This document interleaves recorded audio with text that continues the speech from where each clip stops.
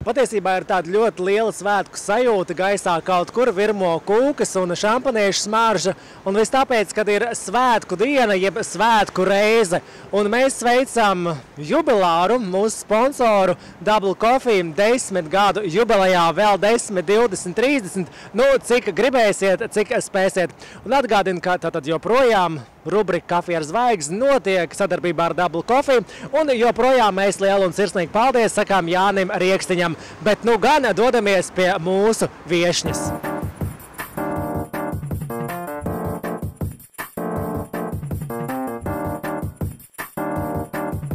Protams, rubriku kafija ar zvaigzni mēs vienmēr sākam ar rīta smaidu. Smaidu gan es, smaidu. Smaidu arī šīs reizes viešņa, un tā ir Samanta Tīna. Čau! Ir tāds rīta smaids mums abiem, jā?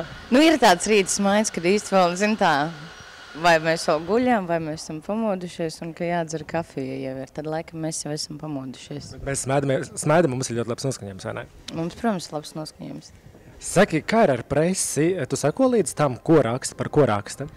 Nu, godīgi tā, nu, ne īpaši, ne īpaši lasu un, un, un sekoju tam visam tā līdzi, bet, nu, būs ļoti interesanti paskatīties, kas tad ir noticis pēdējās, pēdējā laikā tās šīs aktualitātes.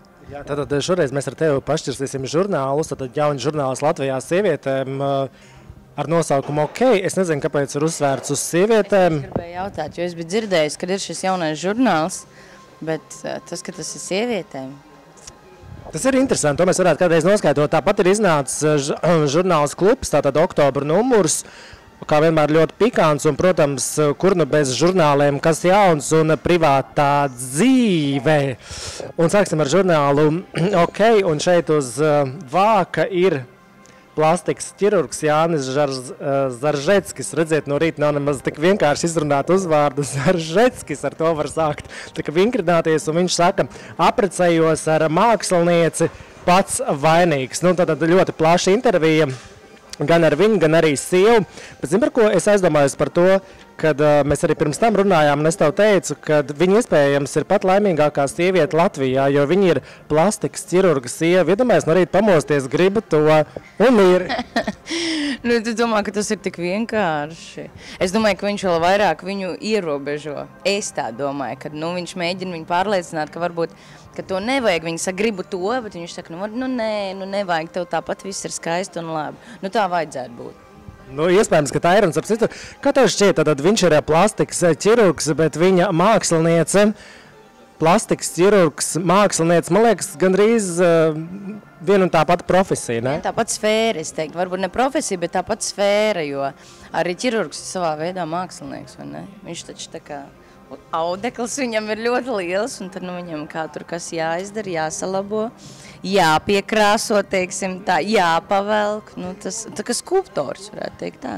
Starp citu, tev nav bēls no ārstiem, no daktariem? Ir. Es noteikti neprecētos ar plastisko ķirurgu. Kas ir, kurš ir tas daktars, no kā patiešām ir? Tas ir zobārsts? Nē, man teiksim, tā ir bailes no visiem, visiem ārstiem, visu veidu ārstiem. Es nezinu, kāpēc es parasti kaut kur aizbraucu, man kaut kāda pota vai kas ir.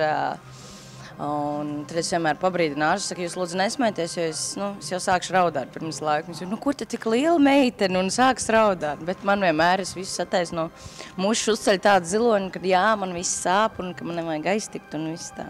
Tā es esmu nu, diezgan tāda bailīga no ārstiem mēs, protams, dodamies tālāk, un tas pats žurnāls, un žurnāla lapas pusē ļoti skaista sieviete, talantīga aktrise no seriāla Bīstamās maisēmnieces, nevis sēmnieces, un tā ir Eva Longorija. Un, Manuprāt, kad atkal tas pats citātiņš no viņas mutes, ko ir teikuši ļoti daudz slavenas sievietes pēc, nu vai pirms 40 vai pēc 40, man ļoti gribētos ģimeni, lai, kad tas notiktu, man tas ļoti patiktu.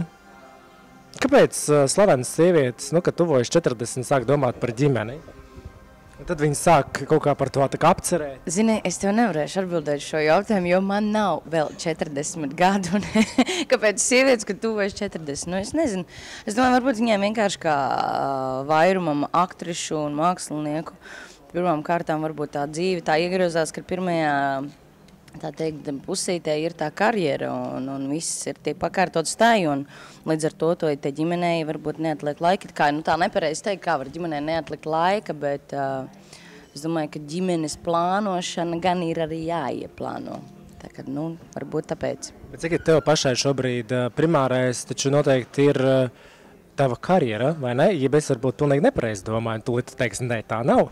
Primārais ir mana karjera, bet par savu ģimeni, protams, aizmirst nedrīkst, un, un es to arī nedaru, un arī negribētu to darīt. Nu, tad, tu, manuprāt, tas ir ļoti labs piemērs daudziem cilvēkiem. Un, manuprāt, tāds ļoti labs piemērs Latvijā daudzām sievietēm ir Linda Līna, kura nekautrējas žurnāla lapas pusēs. Un es domāju, arī ikdienā gan jau viņa cep, vāra, šmurē un Šmurējs. Kaut ko garšīgi. Redziet, tur kaut kādas puķītes. Tur, tur. Galvenais, ka ir skaisti. Tāpēc es zinu stāstu par to, ka arī tādos kulinārijas šovos, piemēram, zvaigznes, ko dara, viņi tur parāda, satājas, tur saliek visu kaut ko, bet pēc tam tas nemaz nav ēdams, viss tiek izmests ārā. Bet tas nav, tas, tas noteikti nav šis gadījums. Bet es noteikti es domāju, ka tas nav šis Lindas gadījums, jo viss ir tik skaisti un, un, un, un tā, bet, bet kā jau parasti saka, viss, visa tā kvalitāte parasti nav tajā uh, kvantumā, pēc pareizi jau pateicu iepriekš, nevis kvantitātē, bet kvalitātē. Un, un, un varbūt kādam tas liekas negaršīgi, un tas tiek izmests ārā, bet varbūt tas ir uz mazu brīdiņu, kad ir jāpagaršo tas mazais brieža gabaliņš, un, un, un, un viss, un ar to arī pietiek. Bet tev patīk gatavot? Man patīk gatavot. Ļoti patīk gatavot, bet, nu, bieži nesanāk to darīt. Nu, tu esi aizņemta sieviete, bet lūk, arī mēs laikam par zvaigznēm, par zvaigznēm, par zvaigznēm. Zvaigznes izvēlas jaunākus, un atkal sanāk, kad mēs skatāmies, kas ar ko. Un te, piemēram, ir, ir gadu starpība. Viņai 65, viņam 34, piemēram, Jūzena Sarandona, lieliska aktrise, viena no manām mīļākajām, un Jonatans uh, Briklins. Nu, kā tev, piemēram, šis pāris? Pēc tam ir uh, Stone un Mārtiņš Mika. 54, 27. Es nemaz nezināju, ka Demijai Mūrai ir jauns draugs. Redz, kā palaidām.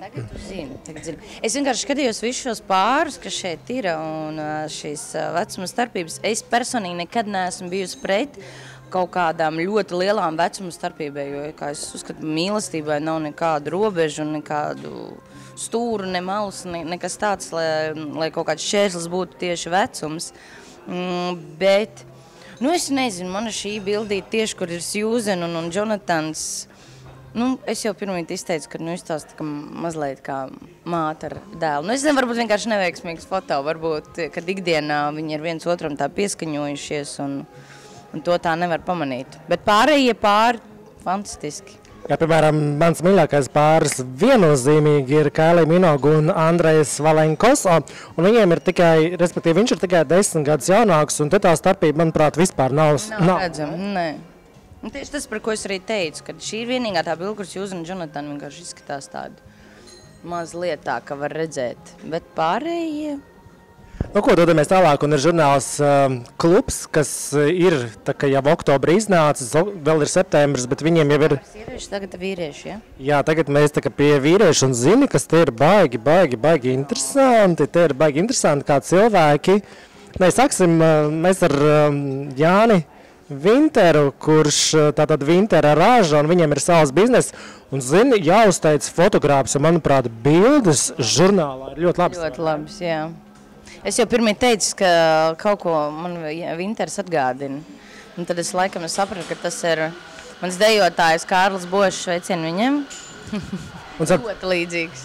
Un ap citu šeit arī žurnālā ir eh, par to, eh, kā ģimenes biznesu, ģimenes tradīcijas pārņem jaunā paudze. Un šeit ir dažni dažādi cilvēki, Bet, kas mani patiešām fascinē šajā žurnālā, ir tas, cik daudz jāšķirsta, tik daudz jāšķirsta, tik daudz jāšķirsta. Un tas, kas mani patiešām pārsteidz žurnālā klubs, ir tātad teksts. Dienu nevarēja nosaukt par saulēnu, bet saule tujā bija pat divas. Abas radio Capital FM kino redījums topkadrs vadītājs Diāna Saule un Ilza Kļaviņa, kuras ir uh, pilnīgi atkalnājušās, nu, daļai atkalnājušās. Iesakušās pieklājīgi.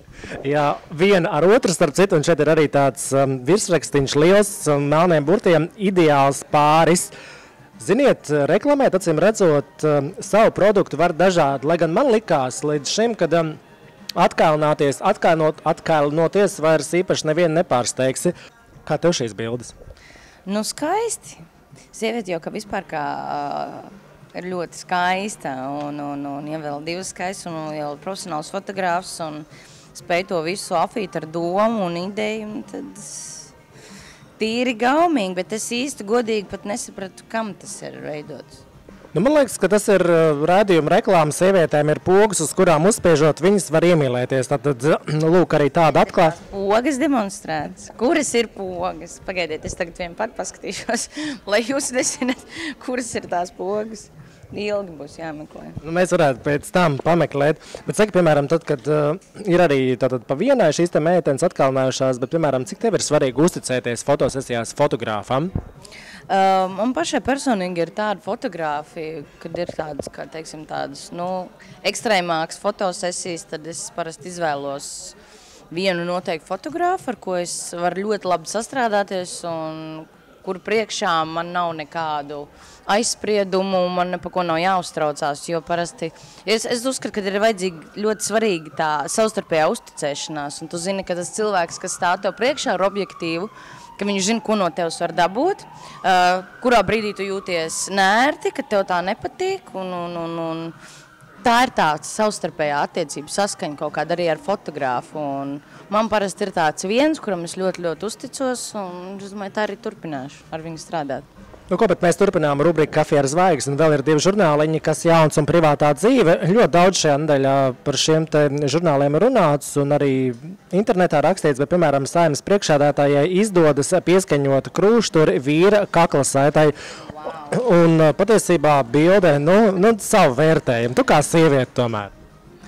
Nē, nu, par cik es par uh, aboltiņu kundzi biju dzirdējis, viņa ir tā teikt piedāvēta man mazliet, nu kā vienmēr saka, samantīna vai sauc aboltiņas stils, ja daļ mūsu matu krāsas. Uh, bet, nu, šo komentēt, nu, varbūt, nu, es nebūtu tā ģērbusies. pat nebūtu, teiksim, tāpat, ja būtu jāpieskaņojas uh, kunga kaklasaitai. Bet, zini, ja viņi, piemēram, būtu dziedātāji, tad es teiktu, ja viņi būtu Madonna, es teiktu, baigi ir ok, bet tā kā viņi ir politiķi, tad tas mūsina. Nu, tieši tā, tieši tā, es arī tev pilnībā piekrītu. Nu, ko vēl mēs varam paskatīties, par ko vēl raksta žurnāls eh, Kas jauns, un arī ir jau par to ziņots, kad Liena Kendī atkal brīvi jāteic, ka šajā nedēļā Liena Kendī prezentēja jauno singlu, singls kā vienmēr dievīgs, balss skan lieliski, bet uh, privātajā dzīvē kaut kā tur kaut kas uh, nogājuši šķībi, bet patiesībā, ja jūs gribat sīkāk uzzināt par to, kas tur notika, tad jums noteikti ir jāizlasa žurnāls, kas jauns. Un vēl, protams, privātā dzīve. Privātā dzīve, jāteic, šonadēļ ir izcēlušies, jo viņiem vienīgajiem, es nezinu kā, kas viņiem pateica, kas nodeva šo informāciju, bet tātad uh, salabuši Ozoliņu lidostā pavada Lietskalniņu, kā mēs zinām, kad... Oh kādu laiku Ozoliņš pēc šķiršanās no Lietskalniņas bija kopā ar Agnes Vārpiņu, kur arī ir trāpījusi uz vāga divainā kārtā. Un tagad tātad Anna ir atkal kopā ar Sandi. Furš, vai ne? Kad, kad, kad cilvēki... Citi šķirās, citi ir atkal kopā, bet domāju, tas ir skaisti, ka atkal uh, ir iespēja izliekt un atkal būt kopā. Tad tur kaut kas ir. Bet saki, piemēram, tu no savas pieredzes, cik viegli ir piedot, nu, piemēram, cilvēkam, ja kaut kas nav sanācis, vai kur ir tā robeža, ja tas katreiz ir savādāk? Nu, tieši tā, ka tas katreiz ir savādāk, tā robeža, ka tu vari piedot un cik, cik vainīgs tajā visā esi tu pats un cik tas otrs, bet, nu, piedot ir jāmāk, jo visu mūžu dzīvot kaut kādos niķos un kašķos, un tas nu gan nav labi. Nā, nākamā reizītē, kad tev cilvēks nāk pa ielu pretī, nu, es labāk viņam paskatos acīs un pasmaidu un pasveicu, un nevis, jā, šī tas man to un to, un mēs tur sastrīdējāmies, un es viņam nekad, nekad nepiedošu. Nē, labāk ir piedot, vienmēr jāmāk izliekt ir. Nu, ko, bet runājot par tevi, tad es zinu, ka pēc šīs intervijas tu dosies ierakstīt jaunu singlu. Tā ir? Tā ir. Tā ir, došos ierakstīt jaunu singlu. Kas par dziesmu, kādā valodā? Dziesma būs angļu valodā, un tas būs, teiksim, tā kā duets. Un, bet, nu, tālāk tas, lai paliek. Redziet, ir arī intriga. Es zinu, ka tev ir arī jauna automašīna. Jā, pie kuras tiku es vakar. Un esmu ļoti, ļoti priecīgi neizsakām. Es kā, kā jau teicu, cik maz, kā man vakar pateica, cik maz sievietē vajag laimē. Saka, bet vai tas ir maz? tas nav maz. Cik, cik sen tu esi autovadītāja? Būs jau sastais gads laikam iet, jā. Tā droši jūties pie autostūras? Es jūtos droši, bet otrs jautājums varbūt pirms gada man varēja uzdot, cik droši es jūtos pie autostūras eh, par Rīgas ielām. Bet tagad jau es esmu visu iepazinusi un viss ir kārtībā. No visurienes var atrast izēju. Bet iepriekš nu, bija kā bija. Bet nav tā, ka, piemēram, ar automašīnu ir grūtāk, ir jāatrod vieta, kur noparkoties, ir jāizreikina tas laiks, kad iespējams tu vari kavēt. Nu jā, bet tiklīdz kā tev ir, tā teikt, savi riteņi, četri, tu jebkurā brīdī vari iekāpt, doties, kur tu, kur tu vēlies, nevis saskaņot vēl ar, ar sabiedrisko transportu, kādus laikus, kur, kas, cikos to jāiziet, tas ir vēl liekas laiks, bet varbūt, ja plus mīnus visu saliek kopā, ka tu meklē noparkošanās vietu, nu, tad varbūt tas pats sanāk. Tu man, nu, savs komforts ir. Saki, ir rudens, daudziem patīk, daudziem nepatīk, kā ir ar tevi. Kā tev rudens? Viņš tev iedvesmo vai gluži pretēji? Tu jau domā par pavasaru, vasaru. Nē, es tieši gluži pretēji domāju par ziemu. Jau. Es jau katru rītu kā pieceļos, izēju ārā un es skatos, kāds ir laiks. Es saku, viss ārā ir ziema. Jo vairs jau nevar stāvēt ārā vienā džemperītī,